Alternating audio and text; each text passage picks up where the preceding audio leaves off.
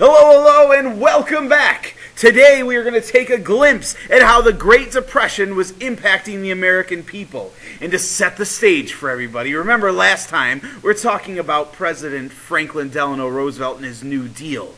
Well, one of the first New Deal programs that will be set up by Roosevelt is the Federal Emergency Relief Administration, the FERA. What that will do, one of the things that that will do, the director of that program will assign a journalist named Lorena Hickok to travel around the country. She'll get to 32 states just to get a glimpse of how the Depression was impacting people. She talked to everyday people, farmers, factory workers, clergy, teachers, you name it. She talked to them. And what she found was that the unemployment was having a devastating effect on city dwellers and farmers alike.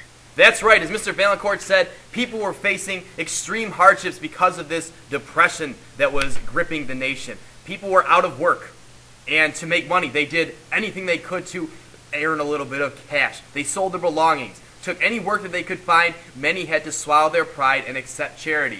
Now, this was something that most people were not used to, and the mindset of that time was that you would work to gain your living and you would not take handouts.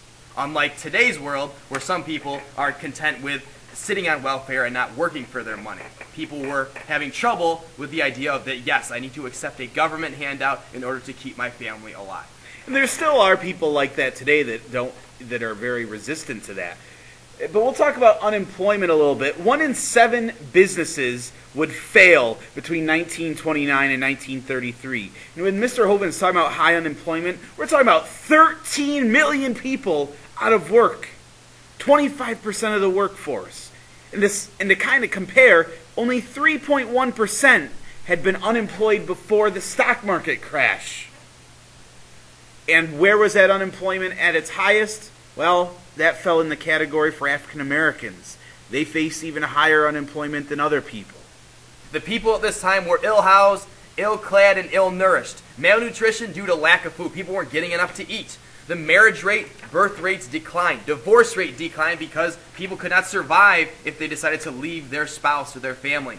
The suicide rate increased because of the conditions that just seemed hopeless. And evictions and foreclosures of homes were on the rise. Dramatically.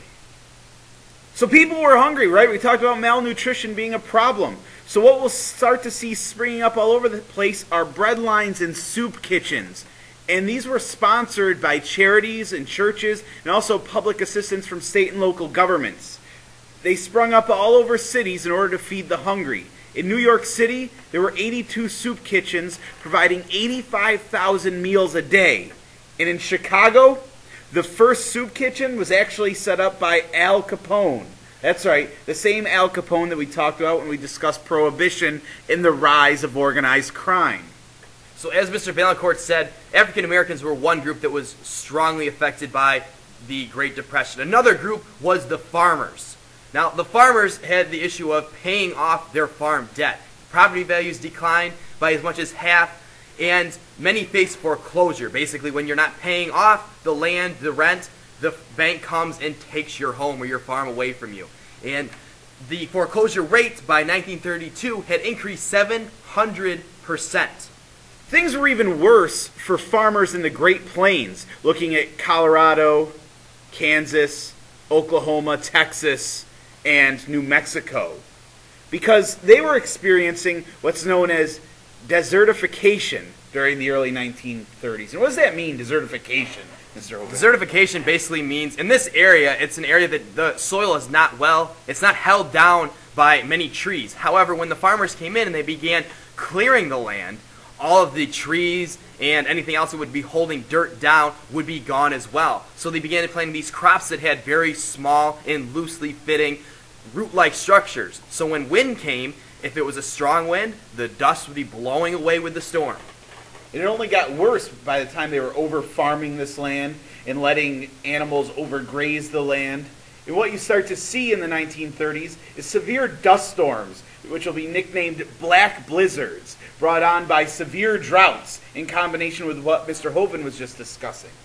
This would affect 100 million acres of farmland. If you take a look at the pictures, you'll see the dust. All right, this is the real deal. And in the second picture, this is someone's belongings, their vehicles, their tractors, under dust. And this would happen to people's homes as well. And one of the biggest problems that happened during the Great Depression, when these dust storms started, farmers thought, oh, it's just once in a while. This is a one time thing. So they would replant again. But they weren't doing anything to keep the soil down. So without the rain and the desertification, with these dust storms occurring more than one time, their crops were being blown away or killed. One of the reasons was because of the static electricity that was created through all of the particles moving against each other in these storms, and that would lead to the crops being killed as well. Yeah, and many livestock would be buried alive underneath this dust, like we said, people's houses and belongings as well. And you'll see lots of new farming techniques that people will start to take on be, as a result of what had happened in the right. Dust Bowl, such as rotating where what crops you're planting yep. where and such. So, what was already bad for these farmers due to the effects of the Great Depression became worse when the Dust Bowl began. And from 1933 to 1936, more than 300,000 families migrated to California. Quite simply, farmers were not able to grow crops to sell to make money. They, they had to go somewhere else? They had to go somewhere else, and that's when they headed to California. Many of these farmers came from Oklahoma, and they were known as Okies, and this came to be applied to all farmers who left. And the, this mass movement of individuals, especially farmers, to California inspired John Steinbeck to write the book known as The Grapes of Wrath. Did many of them find work when they got to California? Not really, right? They, they, they struggled. A lot, some did, some didn't, but they went there thinking, oh, it'd be easy to find work, you know, once the harvest is coming. And because so many people had gone there, that wasn't necessarily the case. So today we've talked about the impact of the Great Depression on the American people, right? Unemployment is extremely high, which is made worse by many people who had already lost their life savings when the banks failed. So not only do they not have a job, but they don't have any savings that they might have already had. They're selling their belongings. Families are clinging on. Lack of food because lack of money. The farmers are facing a hard time. Foreclosures are going through the roof, especially on farms and on houses in general. A great movie that shows that is actually uh, Cinderella Man. We'll, we'll take a look at that in, in class. A clip of that, at least. All right. The Dust Bowl will make the situation worse for the farmers in the Great Plains, who are then forced to leave their land and head to places like California, where the majority are coming from Oklahoma, so they get that nickname Okies, right? But do we ever get out of the Great Depression, Mr. Hoven? I know that FDR put all these New Deal policies in place and saw differing degrees of success, but does it solve the problem that is the Great Depression? Does it turn the American economy around? It's a good question. Really, with all of this legislation that FDR had passed, he's met with limited success overall. And it's not until World War II begins that America is able to pull itself up by its bootstraps and get out of this Great Depression. And we will be looking at that when we start our next unit, World War II.